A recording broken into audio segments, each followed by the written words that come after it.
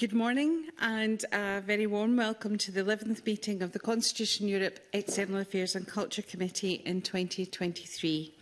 We have apologies this morning from Jenny Minto, MSP.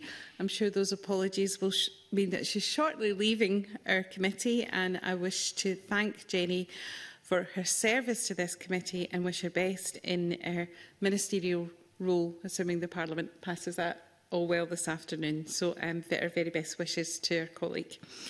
Uh, Donald Cameron, MSP, is joining us remotely this morning. Uh, Donald is our Deputy Convener. Our first agenda item is to take evidence from His e-, Excellency Sturla Sig Urjonsson, Ambassador of Iceland to the United Kingdom, on the priorities of the Icelandic Presidency of the Nordic Council of Ministers in 2023 And could I invite the Ambassador to make a short opening statement? Thank you very much, and, and thank you uh, to the committee for inviting me. Uh, it's something I've been looking forward to. I mentioned that uh, I was here earlier in Edinburgh uh, when we still had COVID restrictions, so I, I wasn't able to to uh, come into Parliament at that time. But uh, but this is something I, I've really been looking forward to.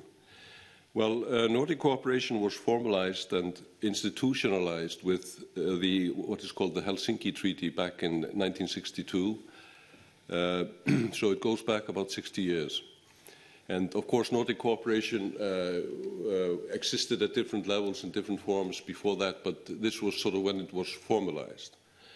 Uh, the two main fora are the Nordic Council, which is the parliamentary fora, forum and, um, and the Nordic Council of Ministers, which is the official body for intergovernmental cooperation in the Nordic region.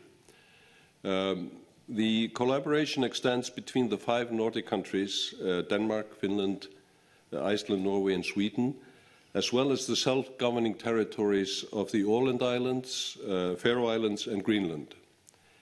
Uh, the Nordic Council me, ministers meets regularly at most levels of government, including ministers and civil servants.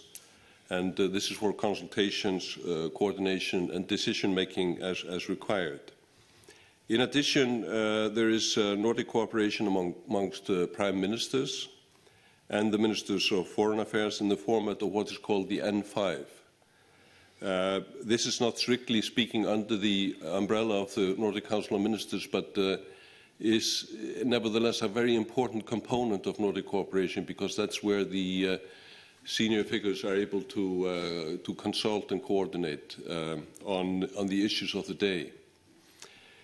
Uh, the through line is, is working in areas uh, that benefit the Nordic region, uh, applying the what is called a, Nordisk Nytte principle. It means basically in translation Nordic value.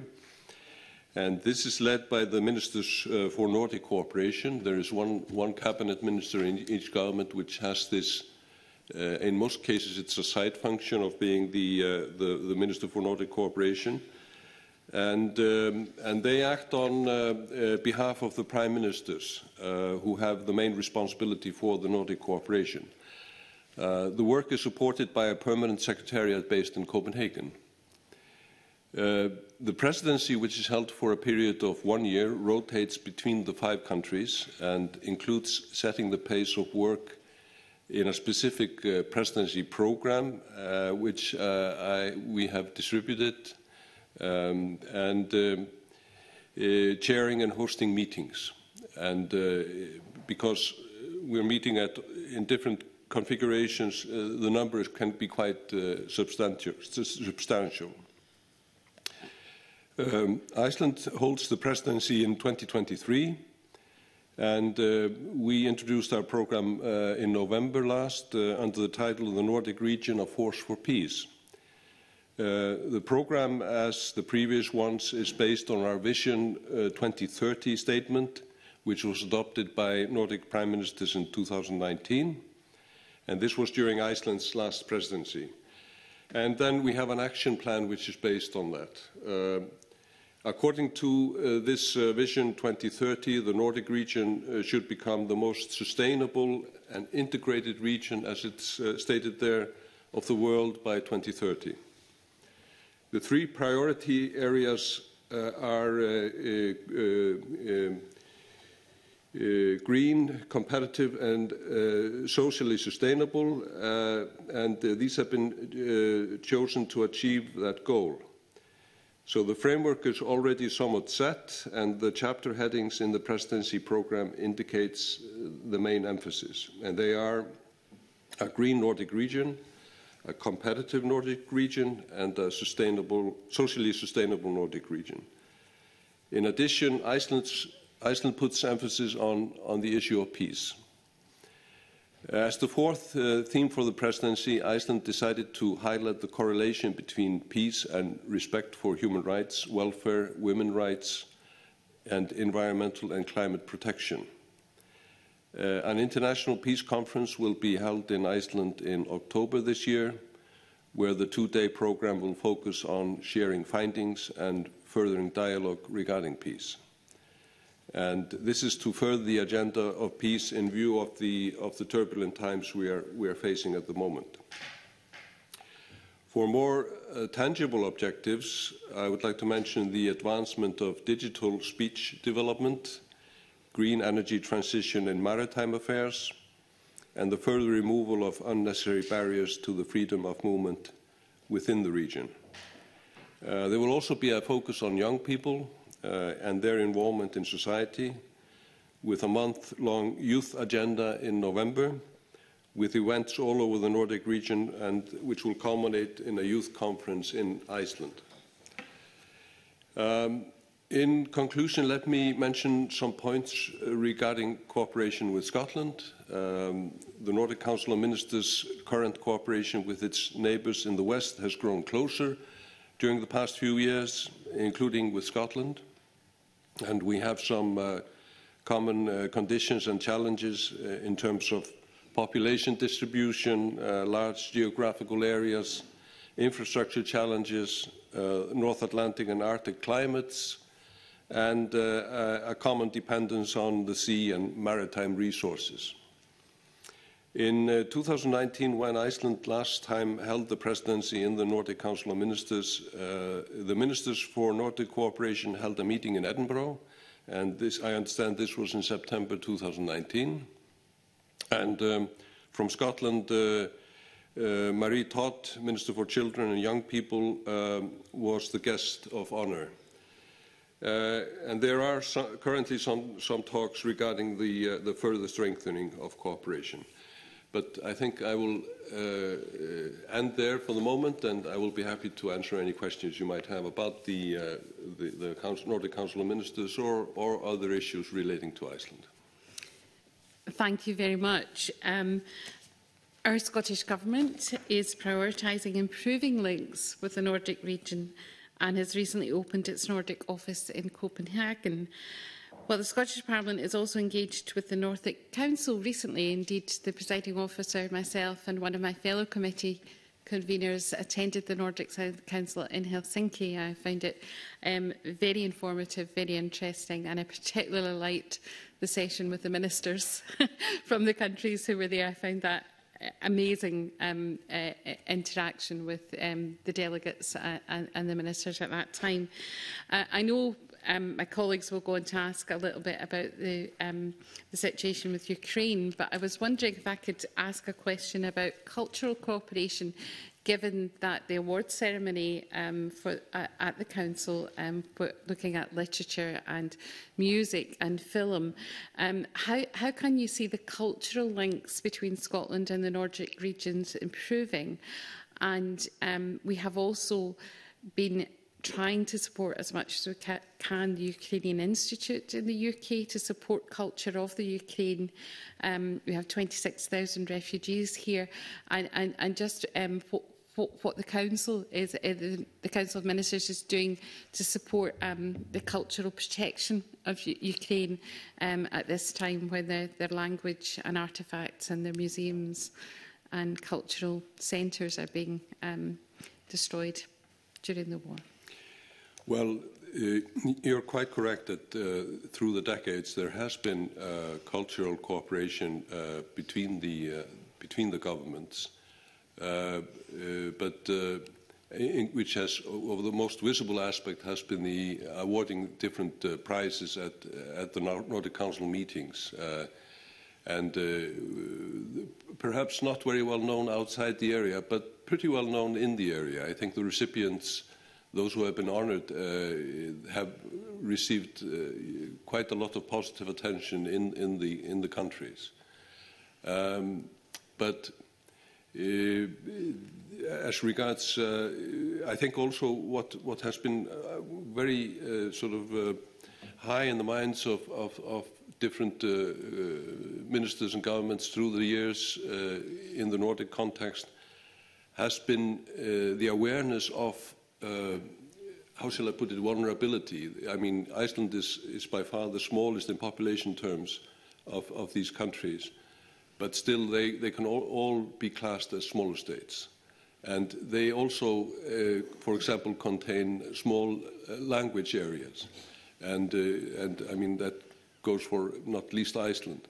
So the, what that's been, I think, the primary motivation in this cultural cooperation is to assist each other in maintaining uh, cultural characteristics in a, in a globalized world where you have so, so much happening and so many influences coming in, and particularly in our societies, which are relatively well plugged in, so to speak, uh, uh, open, open to the outside world. Um, as regards the Ukraine, I have to admit I'm not aware of uh, any particular uh, initiative uh, taken by the, the Nordic Council of Ministers in that respect, and I think it would probably, uh, well, I, I, I, think uh, if it hasn't, it is, a, it is I think, a, a good suggestion, uh, but I think it's probably because the, this is something which has fallen more to the national governments.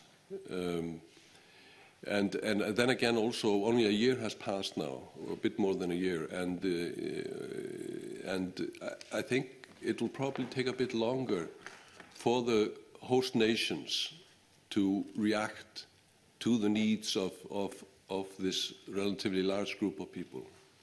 It, it, uh, I think first you have to attend to the basic needs, you know, housing, possibly jobs, uh, education, and, and, and, but I think culture will follow as well. Hmm. Yeah, th thank you. If I, I just reflect on the award ceremony, I found it absolutely amazing. And the fact that it was broadcast throughout the whole Nordic region and, and the you know, the, the audience it had um, mm. from the countries was, was quite spectacular. And I thoroughly enjoyed that. And I think, you know, mm. it's our literature and our music that speaks to peace. So, so it was very welcome to see that at the time. Um, could I invite my colleagues now to ask some questions? I want to invite um, Ms Boyack first. Thank you, Convener. Um, it's very good to have you in Parliament uh, today, Excellency. Um, and I also found the, the paper that uh, you've distributed to us is really excellent. Um, and it, it really frames your priorities in a very interesting way. And it's, it's titled The Nordic Region, A Force for Peace. Um, and I was going to ask, has the invasion of Ukraine really impacted on the work that you are doing um, and what has changed in terms of the invasion of Ukraine? Is it the impact on, um, you've mentioned rights and there's e-, economic issues. So just to talk a little bit about that, and I was also interested by the reference to peace institutes. Was that on your agenda before the invasion, or is that something that's come to the fore um, since uh, Russia's invasion of Ukraine? Mm -hmm. Well, the invasion of, the Ukraine, of, of Ukraine uh, has had, had a, a, a, great impact in the, in the Nordic region uh, because this is so close geographically. Mm -hmm. uh, and uh, not least for, uh, for well, Norway has, an, has a border with Russia, so Finland has a very long border with Russia. Sweden meets and Denmark meet Russia in the Baltic Sea. Uh, we uh, are geographically a bit more distanced, but we, we, we feel the Russian presence and have felt it throughout the Cold War and, mm. and lately uh, because of uh, military activity in the North Atlantic. Um, the, um, um, I think what is perhaps most indicative of how far-reaching the, the, the impact and the implications have been are are the uh, applications of Finland and Sweden for NATO membership. Uh, if you look at this in a historical context, I mean, only a year and a half ago, uh, this would have been unthinkable politically. Mm -hmm. But, but today, I mean, they are uh, just about to become members. And um, also, what has happened about, uh, I think it was about in the year 10, 2010 or so, we had uh, the former Prime, uh, Foreign Minister of Norway, Thorvald Stoltenberg, the father of the, the current Secretary of General of NATO, he uh, was uh, commissioned with, by the Nordic uh, foreign ministers with, uh, with preparing a report on Nordic security and defense. And this has since been updated, but, but following his report, Uh, uh, Uh, uh, we started uh, cooperating much closer in the area of security and defense than we had done earlier. Um, we had uh, different alignments within the group. I mean, throughout the Cold War, you couldn't discuss hardly foreign policy, but not at all security and defense policy in the Nordic Council, for example, because you had Finland with its particular situation vis-à-vis -vis the Soviet Union and, and Sweden neutral. Um, this changed following the, the end of the Cold War, but mm -hmm. it, what this really took off, as I say, about 13 years ago, 12, 13 years ago. And uh, now we have uh, even uh, formalized the cooperation in what is called NORDEFCO, Nordic Defense Cooperation, which of course is, it, it, it doesn't contain any, any uh, obligations or guarantees, but it does uh, has helped in, in for example, in uh, in uh, logistics and in, in, in purchasing equipment, etc. So, and now I, I don't know whether some of you noticed just about a week or two ago, the the four Nordic countries which have, have air forces, we do not, we don't have national armed forces. Um, they decided to combine their air forces in an operational way. So, and this creates one of the biggest air forces in Europe. Um, so the, I, I, think that's where we see the impact. And of course, it's been economic as well. Um, Finland had considerable trade with, with Russia. It had, had been reduced following the annexation of the Crimea, but still, it was there. And uh, this has uh, diminished almost to nothing. Uh, and um, uh, so, so I, I, I think uh, the impact is real. Mm -hmm. So that, it's very... And, uh, sorry, uh, you mentioned the peace institution, yes. institutions. I, uh, that I think that goes further back. That, that is an older idea. And, uh, uh but but uh, perhaps it becomes more relevant today. That, that's what I was thinking when I was reading it. Yeah. That, so you have that expertise already. Um, and it was also the practical issue you, you talked about.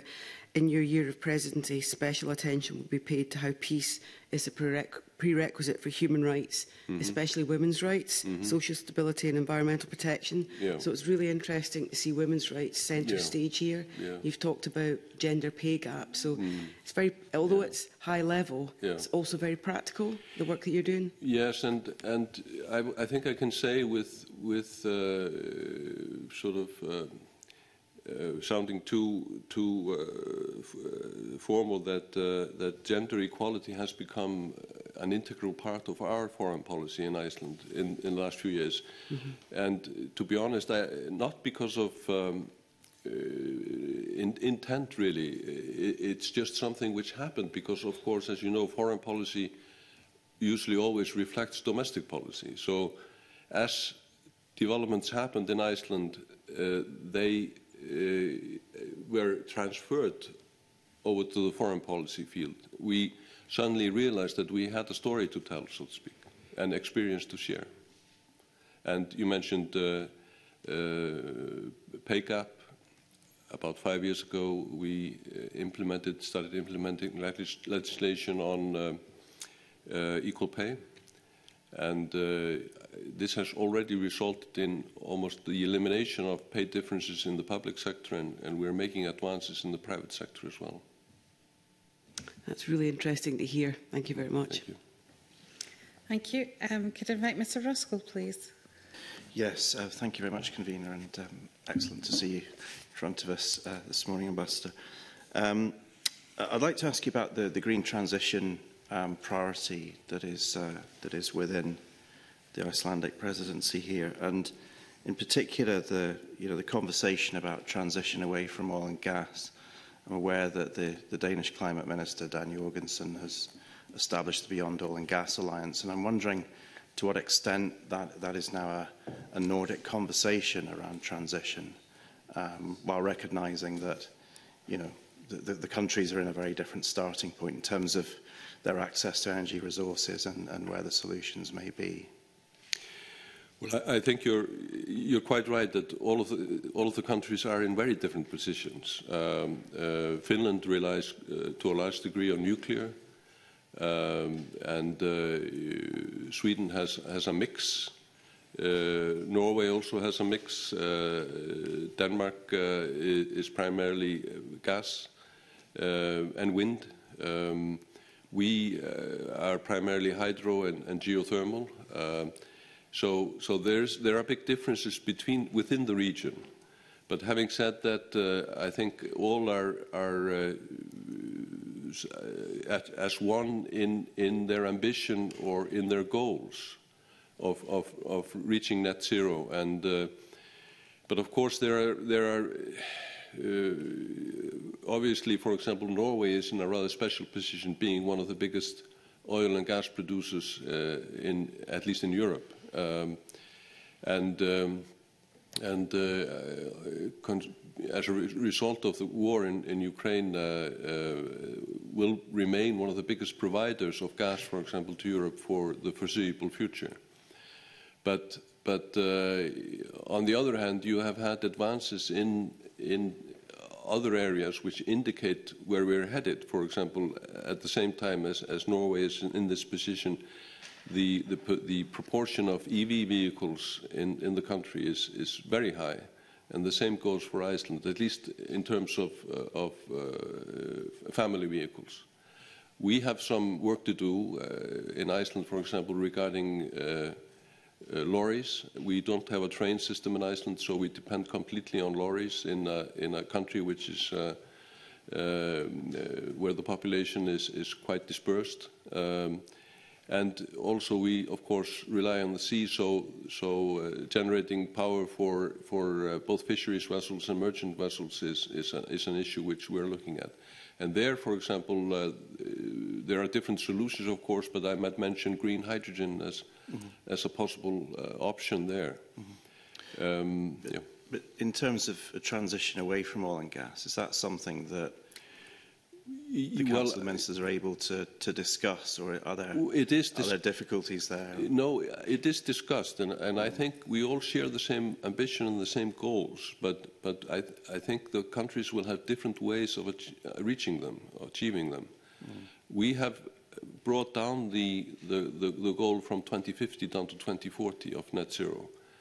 And, but uh, having said that, I think we are perhaps uniquely placed to reach it because of our peculiar circumstances. Uh, we, um, uh, all our electricity is, is renewable. It's 70% hydro and about 30% geothermal.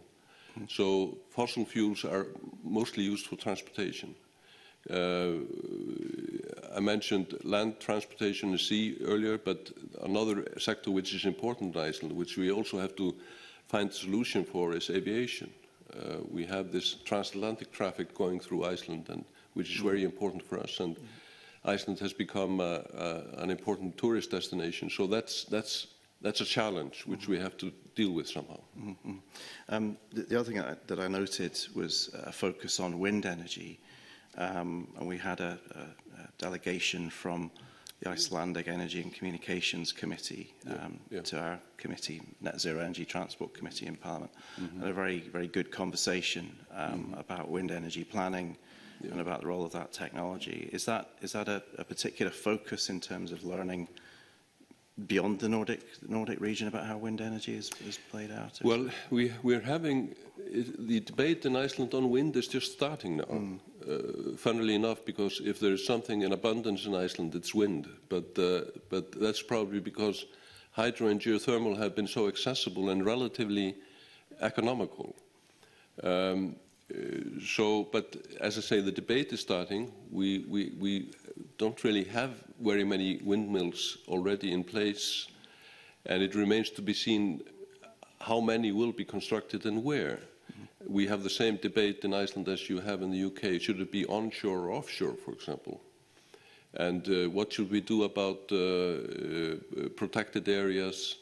Uh, how does this uh, uh, sort of uh, work in terms of tourism, where people are coming to Iceland uh, hoping for and expecting to see pristine nature? And uh, so, I mean, all of this will probably sound familiar to you as well. Um, but when it comes to energy, if we look at energy policy in strategic terms, looking to, to the next few decades, I can freely admit that we in Iceland, we still have a lot of homework to do. We, we, are, we are starting the debate, uh, and uh, I don't know how long it will take, but, but, but I think we have to try to achieve, some, maybe perhaps we will never get cross, complete cross-party consensus on it, but I would say a relative consensus we need. Mm -hmm. yeah. And uh, uh, I can mention, for example, that uh, hydro is, is uh, controversial because of the uh, land required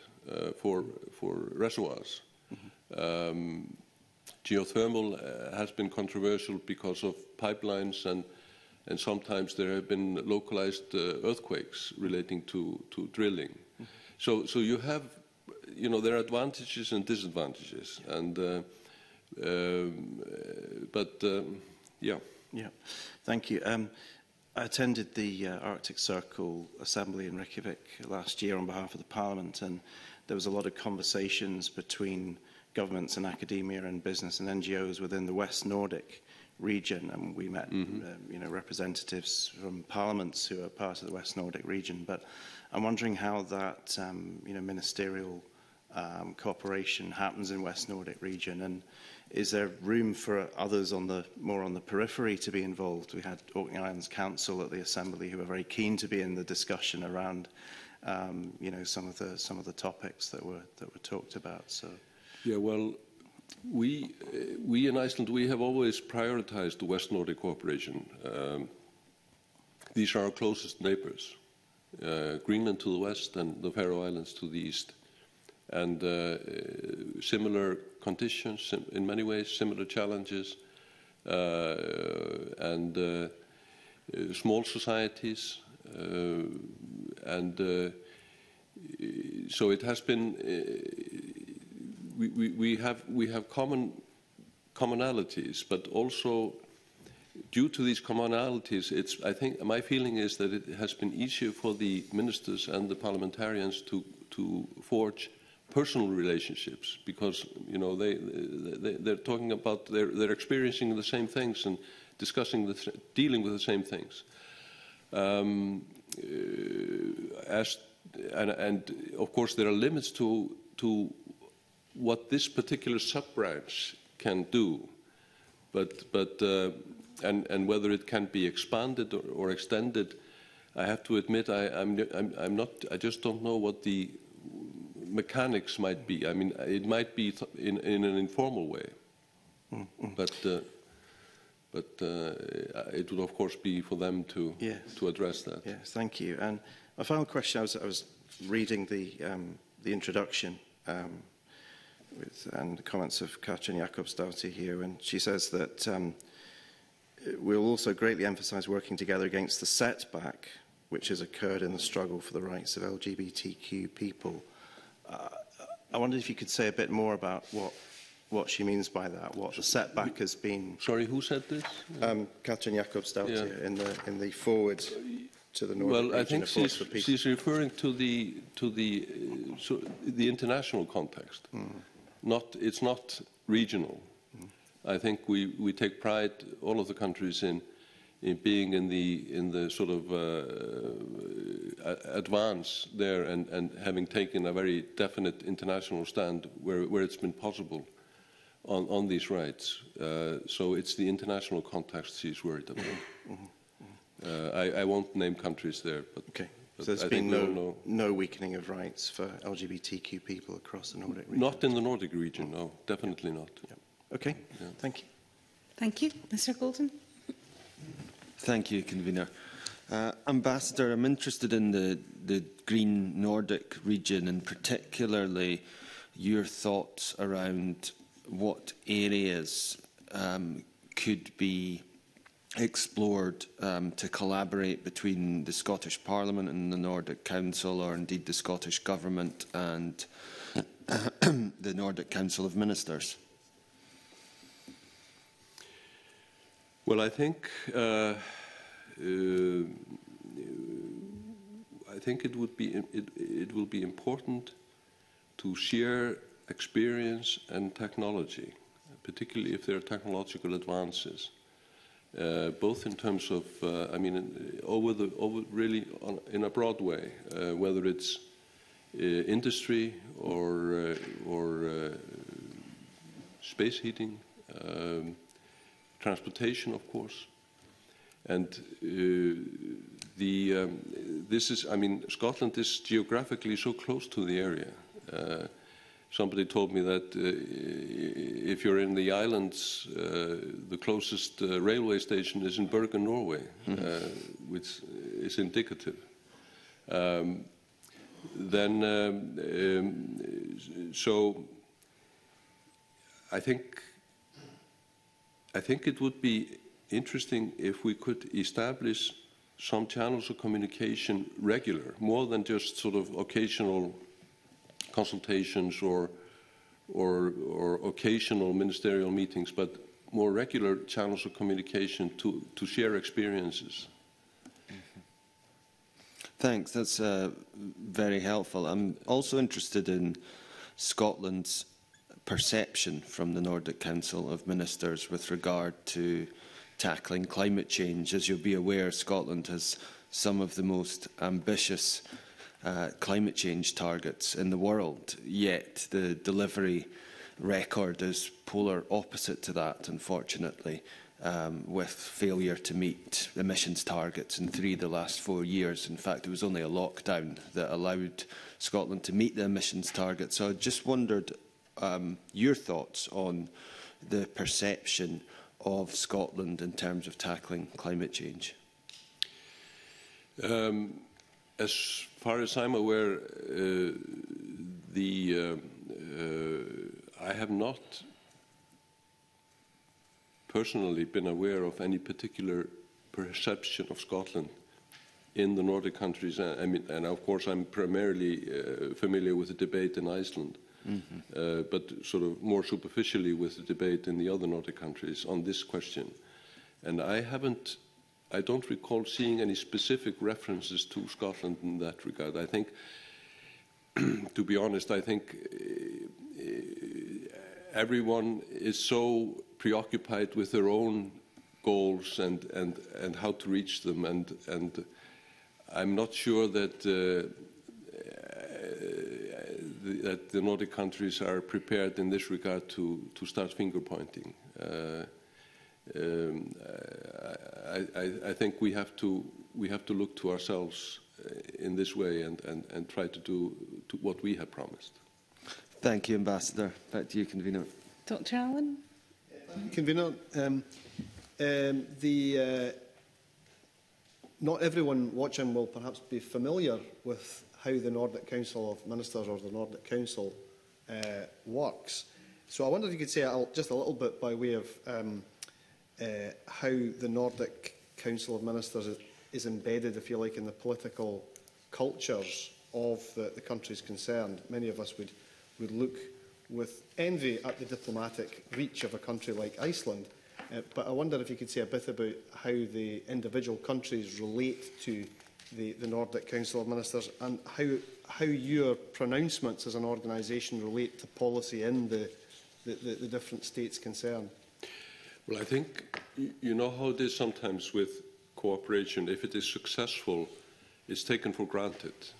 And, uh, and I think because Nordic cooperation goes so far back, it, it, I mean, this was institutionalized in the early, early 60s, but it really goes back to the uh, years following the end of the Second World War. And culturally, it goes much further back. Um, so it's something, and, and the level of integration, I think sometimes it's not realized how, how early and how deeply we went into integration. For example, uh, we had a travel-free zone in the Nordic countries uh, many, many decades ago, long before other, I mean, uh, Schengen is just a recent phenomenon, but I mean, this was back in the, back in the 50s. And uh, Uh, and then uh, education, uh, social uh, services, uh, lots of integration there. Uh, we have, through the decades, for example, had a huge number of Icelandic students studying at universities in, in the other Nordic countries without tuition fees, for example. Um, so my feeling is that this, as I mentioned earlier, has sometimes been taken for granted. People just assume that this is how it is and always has been. But of course, there's a lot of work behind it. And not only in getting it started and establishing it, but in maintaining it and keeping it running. And um, not perfect, not at all. Uh, as I mentioned, we still have some, believe it or not, and even though, uh, you know, uh, Three of the countries are in the European Union and, and Iceland and Norway are uh, participating in the single market. There are still trade barriers in, in some instances which, which uh, we have the objective of, of getting rid of. So not perfect, but it's been working pretty well. Um, uh, the, uh, um, but speaking as a civil servant I, uh, and having attended a lot of meetings in the, in, in the Nordic uh, context, um, I can say that for the, for the governmental systems, it's extremely important uh, in many ways. It's not only consultations and coordination, but um, also picking up best practice, for example. And, and also, uh, when it comes to more urgent issues, well, you, perhaps security related, being able to pick up the phone or reach for the uh, for, for, for the uh, mobile and uh, and um, and immediately know whom to contact on what. So sort of the so the governments are very familiar with each other, and I, I think that's an asset which is which is difficult to put, put a price on. Um, yeah. In, in, terms of the future, I, I, will resist the temptation to ask if uh, Scotland can be a member, but in terms of the future, um, you've said um, that, or that the, um, the vision for 2030 is that the Nordic region will become the, the most sustainable and integrated region in the world. That is a huge ambition. I know. Uh, not very you, long to go either. So. Can you tell me what it involves and uh, how you'll do that in the next few years? Well, I think we will. It, it is a goal, and and uh, obviously, when we set such goals, we are serious about reaching them. But um, but um, I, I think I have to admit that we will probably need not, not wholly reach this goal by 2030, and, and uh, perfection is, still some, some distance away. But, but I think it, is important to put such goals uh, in, an effort to mobilize the governments and and and to to uh, it's not a deadline it's a goal and but this this uh, this helps in focusing um, so I think it is uh, maybe it's the wrong word to use but it's a political objective and but uh, but I, as I mentioned earlier we we are already very integrated uh, and we are before this goal was set and in terms of, of, of the green aspect, uh, we are as well, if you look at the, in, in comparative terms, internationally. Thank you, Kevin. Thank you. Ambassador, I wonder if I could ask a, a question about something you mentioned earlier on about the free movement of people. Obviously, um, Scotland finds itself outside the European Union now, um, uh, which gives challenges for our young people in terms of opportunities for free movement, for study abroad, for um, you know linking up with other youth organisations. Um, and, and I know it, it was a real priority at the Nordic Council. And I believe the young people, it, it's up to, you count it as up to age 28, is that right, around about that, that age? You, you mean the, the, the MOU we have with the UK? Yeah, yes. well, it, it's really... Um, since you mentioned the free movement of people has been so important, I just yeah. wondered what, what the council's priorities were for your youth uh, in, in the countries and what opportunities you see being opened up. Um, Well- by further integration and, and free movement. Yeah, well, uh, because we had the passport union uh, when the uh, when Norway, well, Denmark was already in the EU, but when Nor- when uh, Sweden and Finland came in, uh, there was a great reluctance, or I would just say opposition, in all of the countries to doing away with what was called the passport union, which dated further back. So that's how Iceland and Norway came into Schengen. Uh, so, uh, so we have this peculiar position of being in and out. You know, we're we're not member states, but we do participate in the single market, and and we're also members of Schengen. Uh, but uh, I might mention that we are the only European country so far to conclude uh, an MOU with the United Kingdom on youth mobility, and this involves uh, being able to uh, the ages from 18 to 30 being able to come here for two years. Uh, but you have to apply for a visa, a particular type of visa, to do that. But the process of, of getting that visa is simpler than uh, if you were just to come, uh, you know, ask for a student visa or a work visa, for example. So, so uh, we're hoping that uh, that this will facilitate movement. But but one thing which I might add, which the numbers in, in the UK, again in comparative terms of Icelandic citizens, is relatively low. I mean, when when we were going through the uh, tying up loose ends after Brexit uh, and uh, uh, we were uh, encouraging our citizens to apply for for permanent settled status. There were almost about 3,000 which applied. But if you look at Denmark, Norway, Sweden, in each country we have more than 10,000 citizens in each. Uh, and uh, I think the main reason for this is that Iceland has never enjoyed uh, a rebate on tuition fees at, at, for higher education. Uh, Iceland and Norway have never been, were never in the same position as the European Union countries in that regard. So the demand for higher education from Iceland hasn't been the same as, as, as to other countries. I would just echo my colleagues, Dr Allen's comments about how we would we would want to strengthen those opportunities going hmm. forward. Um, but obviously that's a matter for uh, the ministers of our government and uh, the UK government to, to take those wishes forward. Can I thank you very much for Can your I attendance? Can I make just one uh, further? Absolutely, further yes. I, I, just mm-hmm. wanted to draw your attention to uh, the fact that we have the chair also in the Council of Europe mm -hmm. until May and uh, our chairmanship will conclude by uh, holding. We, we are holding a summit meeting in Reykjavik mid-May. Uh, there are 46 member states of the Council of Europe. um and we expect to almost, uh, it's approaching now 40 heads of government, uh, primarily, some heads of state as well. So it will be uh, quite a gathering, uh, and of course Ukraine will be the main issue there. And relevant to the Council of Europe, uh, the issue of accountability, Russian accountability, will be high on the agenda. So, uh, so my colleagues in Reykjavik have been preparing for this for a few months now, and of course, as, as you can understand, it's quite a logistical undertaking. Well, we wish you all the best for that conference and indeed the peace, peace conference later in, in the year as well. And uh, we'll be watching with interest and I hope it's not the, the last time you'll be able to, to come and, and, and update the, the committee on the work. But thank you very much for well, your attendance you. this morning. Thank you very much. Uh, we will now move into private session for our final agenda item.